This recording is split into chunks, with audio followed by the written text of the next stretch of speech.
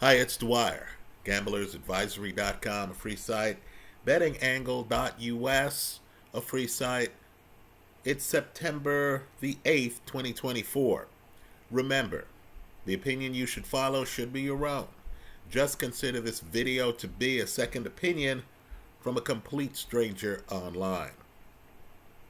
Now, it's my belief that the biggest moments in life the ones you're going to remember and cherish the most when you're my age. Come in small moments. Come in unexpected moments. Right? You think you have your eye on the real game over here, and then you find out the real game was over there. Right? Well, let's talk about a situation like that. In my favorites folder right now, you have one of the biggest fights that could have been made at 147 pounds. Right? It involved two guys, 35 and 38 years old. Right? Both of whom had very little experience at 147 pounds. Very little. And they were fighting at a smaller venue. Now, let me pivot right here for a moment. You know, we all have heroes.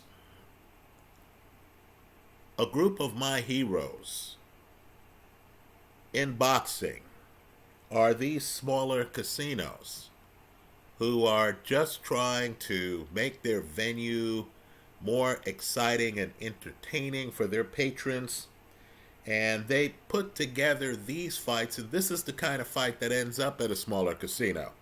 Because both of these guys have recent losses. They have great histories. Right? You'll see both of these guys fought big names. But if you're a smaller casino you need people with names who will accept smaller paydays. Right? You can't match the money that a Las Vegas or a New York City or a Los Angeles or a Montreal, Canada or a Wembley Arena is paying people. Right? You're on a limited budget. So here, let me name one of my heroes. Pechanga Resort and Casino in Temecula, California. They put together this fight, and folks, this fight was a hardcore boxing fan's fight. Right? Let me just say, too, um, I have the footage, it's in my favorites folder. The ring announcer is not going to remind you of Michael Buffer. Right? You understand this is a smaller venue. In fact, early in the telecast, you're going to hear one of the ring announcers asking the other questions about the fighters. In other words, this is not a production where the, you know, boxing analysts are talking about talking with the fighters beforehand at the pre-fight meeting and stuff like that. This isn't that big a budget. Right? But folks, it's in venues like Pechanga that you get the fights that set up the division. Now, before I talk about the fight, let's pivot to the division. Now, 147, the division where Ray Leonard met Thomas Hearns, the division that Terence Crawford ruled. You remember, it's the division where Terence Crawford met Errol Spence. Right, that division.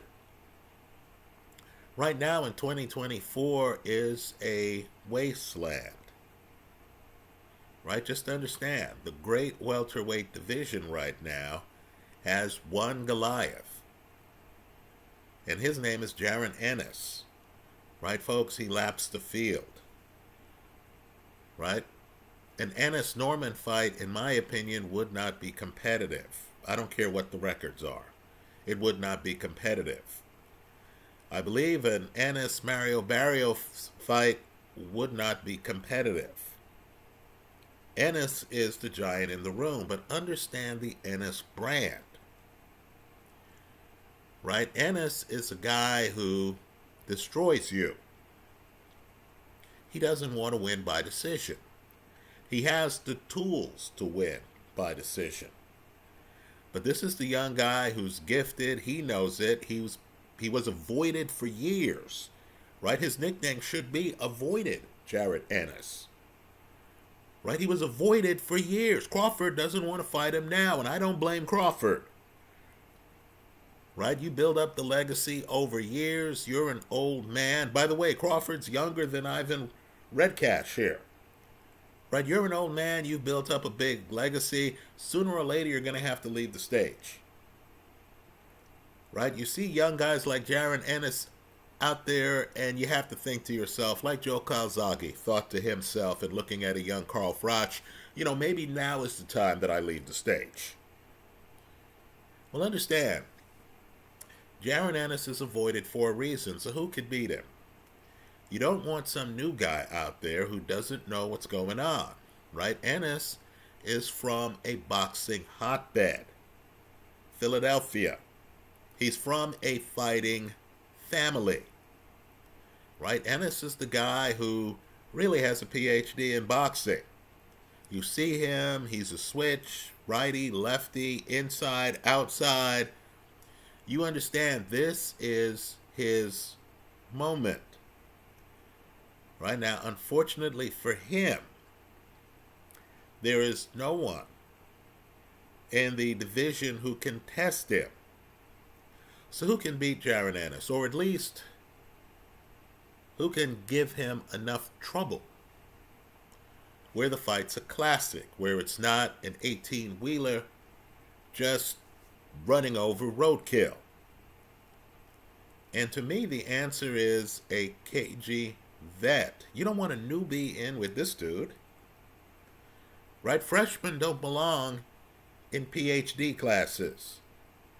You need some guy who's been there, who's done that who has fought great fighters, who has been in the deep end of the pool against great fighters, right? Who has made mistakes, right, folks? Mistakes are learning experiences, right? If you have never lost, then in my opinion, you have never tried, right?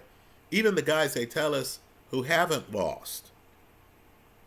Mayweather got tested, didn't he? Right? So let me just say, you want a tested guy in against Jaron Ennis. Even a guy who got dominated in a fight, like Jose Zepeda got dominated in the Hitchins fight. Right? You want to dare Ennis to go off brand. Dear Ennis to get out of his construct and to think to himself, I'm going to have to go off brand. I'm going to have to try to fight like Hitchins to win this fight because if I don't, I might not.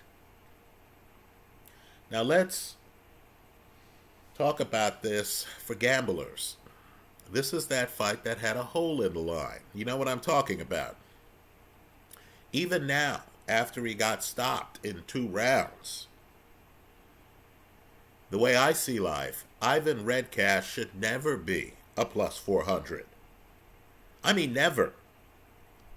Right? So understand, I keep telling people, no one believes me, and that's okay. More beer for me. I keep telling people that these bets make themselves. Right? You're just a computer program connecting the dots. Now, I thought hard about this fight, did not make a pre fight video. Redkash was going off at a plus 400. Plus 400. And Zepeda, by stoppage, was going off at less than a minus 400. He was going off at a plus 300. You looked at the two guys and you thought, there is no way in hell this fight's going to go even the 10 rounds it's scheduled for because both guys, right? Let's not fall into the trap of, you know, ignoring the loser's attributes. Both guys had big punches. Both guys are older. I'm just telling you, older fighters they know when it's not their night. Right? They'll get knocked down a couple of times and they'll say, okay, gee, how much do I have left? Not just tonight, but in my career. Am I going to spend that all here on this fight where my chances of winning are 2% right now? Right, so the setup was here for a stoppage either way. Understand, if you believe that, then you understood that you could put some on Red Cash at a plus 400, put some on Zepeda by stoppage at a minus 300 and have a net profit if you structured the bet the right way. Right? Well, let me just say I didn't take it because the hole wasn't big enough in the line. For gamblers, you really make your money on fights like this, not on big fights that everyone has overanalyzed, that has a line that has been scrutinized right? If you're a football bettor, you understand. The Super Bowl is going to be heavily scrutinized. Some of the playoff games are not going to be. Right? You want to bet on the unscrutinized lines. So here, let's talk about the fight. Take a look at the video. It's very important. Just to understand Pechanga Resort and Casino in Temecula, California. They're one of the heroes in the sport of boxing. Right? The sport of boxing is made on moments like this. Understand, Chon Zepeda is one of the best possible opponents for boxing fans against Jaron Ennis. Right? In part because he's a wicked body puncher. In part because he's the cagey vet who is going to be on his front foot even when he's fighting a Regis Prograis, who he has fought, right? So in this fight, just understand, Redkash is not washed in the slightest. Right? A wash fighter is a guy who gets gradually beaten down, where you realize he just doesn't have the reserve. Know who Ivan Redkash is, and Redkash throws longer punches than Chon Zepeda. Right? Zepeda is that hard hitting short puncher. What happened to Redkash is he gets hit with the perfect liver shot. Right, folks? This is not that far removed from Diego Pacheco's last fight. Right? Redkash gets hit with the perfect liver shot. The fight's competitive up until that moment but he gets hit with the perfect liver shot. He hits the canvas just like Diego Pacheco's opponent. Rolled into a fetal position in that fight. In other words, that's what liver shots do. It's as if someone just pulled the wiring between your body and one of your legs. That's what a liver shot feels like. Suddenly, a part of your body goes. And it's so sudden that guys hit with liver shots will roll on the canvas. You'll actually see it here in this fight. Right? Redkash in a competitive fight. I don't care if he's 38, 48, 28. He gets hit with the liver shot. Now, something remarkable happens here. I applaud everyone. This to me is a five star moment. Right? Redkash hits the canvas he understands the fight's a big opportunity. So he wants to get up. Right? So Redkash rolls around the canvas, and rather than stay on the canvas, he actually makes it up late in the count. He's trying to get up. But folks, boxing only gives you 10 seconds. So Redkash gets up, he makes a mistake. As he stands up, he has his hand on the rope. Right now, the referee could have counted him out. You had a veteran referee here. Right? Veteran refs are also heroes to me. So the ref looks at him. The ref knows this is a wicked body shot, but the ref also knows this is the first round of the fight. Right? It's not like Redkash is bone tired and can't continue.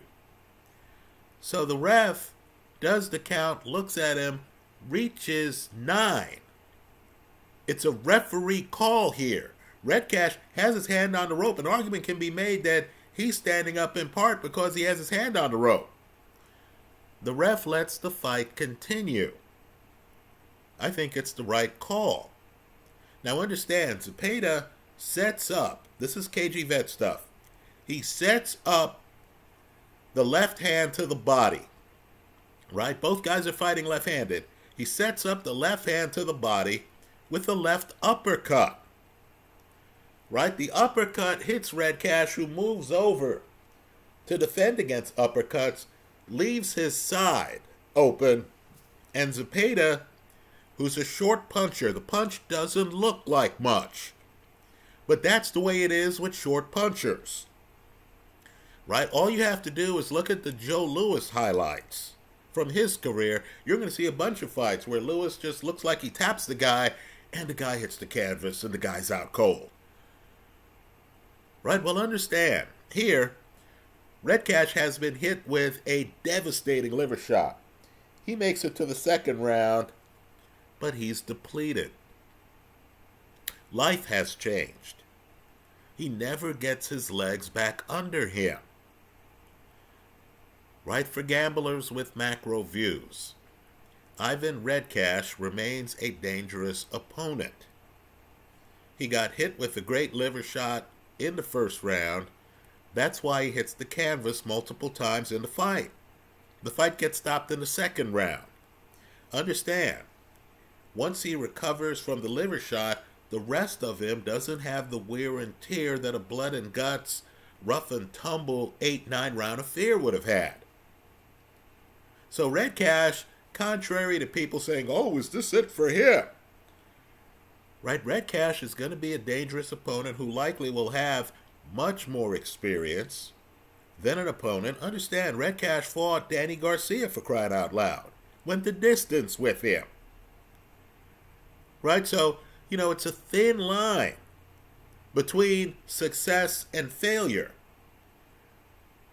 Writing off Ivan Redkash here is a mistake. This is the KG vet who, if I see him fighting, some young guy who's full of himself, who has no idea what it's like to be in the deep water against a Danny Garcia. Right? Some young guy who has read headlines that, you know, Redkash got stopped in two rounds in his last fight and doesn't realize that it was a perfect liver shot from a left handed puncher. Right? Understand, Zepeda. Zepeda's a puncher and he's a southpaw. Good luck for an orthodox fighter pulling off that shot. You have to hit like a Diego Pacheco or a Chon Zepeda to pull this off. Most fighters don't. So if Redkash, the book you keep, where you are writing down betting ideas, write down Redkash's name. Say if he's in against a light hitting opponent or some young guy who's clueless. Lord knows boxing is filled with both categories. Right? Redkash is going to be a difficult out. Whether or not you think he wins the fight, play with the props. Because he got knocked down multiple times here in two rounds, you could imagine the over under on his next fight, particularly if there's an age difference between himself and the opponent. Right? That that over under is going to be probably on the low side for a vet who's a tough out. Now let's talk about Chon Zepeda. You're Jaron Ennis. You want to make a name for yourself. Look, I don't blame Norman. I don't blame Barrios for wanting to get championship paydays. Right? Let's do the math. Let's say they offer you 1.5 times what you normally get to fight Jaron Ennis right? You're thinking to yourself, well, you know, why would I want to take that? That's less than two title defenses. There's no one here at 147. Right? I mean, if I'm Mario Barrios, I can risk my title for a payday that's, let's say, 1.5 times or two times what I normally make. Or I could go the route of just fighting regular guys. And I can extend my title reign. Right? In time, credible opponents will enter the heavyweight division. Or, excuse me, the 147 pound welterweight division. I don't have to fight avoided Jaron Ennis. Right? If I'm Norman, I have to realize hey, I've just gotten a title. Let me get my feet wet. Let me have some title experience. Barrios, of course, has fought people like Gervonta Davis in the past. Norman is not. Right? If I'm Norman, I think to myself, hey, let me establish my brand. I didn't fight my entire life to become a champion, to then, early in my reign, fight a Goliath. Let me actually get the experience of being a champion for a few fights. Let me cross that off my bucket list. Then, once I've been established, then I'll fight Jaron. Right, so understand, Ennis is looking for a dance partner. You knock on 35 year old Chon Zepeda's door. Right, folks? The problem with fighting Zepeda is he will go to your body. The problem is if a shootout happens, Zepeda's a short puncher. Understand? Short punches increase your hand speed. You don't have to move your hands that fast if you're surgical with hard, short shots. I want people to look at the footage here. The first knockdown. It looks like Zepeda just taps him, doesn't it? You don't see Zepeda look like he's overextending himself. But Redkash hits the canvas as if he's been shot. Look at him roll on the canvas, folks. He almost rolls into the referee. Look at him try to get to his feet, folks. That's a heroic effort. He does not have one leg. You want to know the tip off? Look at the end of the round. Now this is this is a rough guy sport. So here you have a guy knocked down. He gets up with one leg, right? Because understand, the body shot has taken away a leg. He, of course, and this is a boxing story, he, of course, looks tough, right? He wants the other guy to know, hey, you haven't hurt me, even though seconds earlier we've seen him rolling on the canvas. So, of course, Redkash, you know, is rough and tumble, tries to look rough and tumble, but you know he's badly hurt. Then the bell sounds to end the first round. I want you to look at Redkash walking back to his corner. He's trying to look tough. Folks, he's still on one leg. He's still on one leg. That's how hard Zepeda hits. Now, if I'm an Ennis, I want to fight Zepeda. If I'm a Zepeda, I take the fight. Because Zepeda has already had a lengthy career. Zepeda wants another shot at the title, and he can do the math. If he beats Ennis, wow, that's a lot of beer for him and his entourage. If he doesn't beat Ennis, but he has moments in the fight, knocks down Ennis, dazes Ennis, is ahead on the scorecards when he gets stopped right? It's blood and guts. Create some highlights that fans want to look at. If he gives Ennis a competitive fight, he wins. Right? If the fight is very competitive, he might even get a second payday in a rematch. Right? To Jaron Ennis and Eddie Hearn, look, you guys are complaining about Jaron Ennis being avoided Jaron Ennis. Right? Fight Jones Zepeda.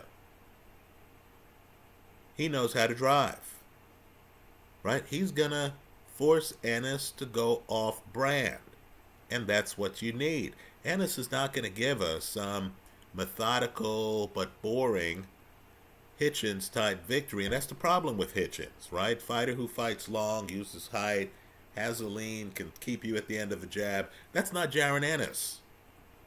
Right? Ennis is going to come out and he's going to want a stoppage. He's going to look at the Regis Prograis tapes and he's going to say, I can get a stoppage.